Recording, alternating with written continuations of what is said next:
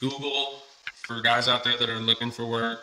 Set up a Google My Business and and and get those real reviews from those clients you did the work for, because I've gotten more work from there this year after setting it up than I ever thought we would for residential side.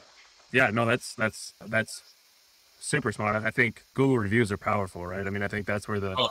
that's where the future of of reviews and testimonials and all those kind of things are going to go. So, like you said, I mean, pointing people to that and and not that you have to point consumers to that, but even even going as far as you know somebody that you've done work for, saying, hey, this this could really help us out if you don't mind, and and uh, asking them to kind of get on there for you is is something that, like you said, could pay off pretty pretty exponentially.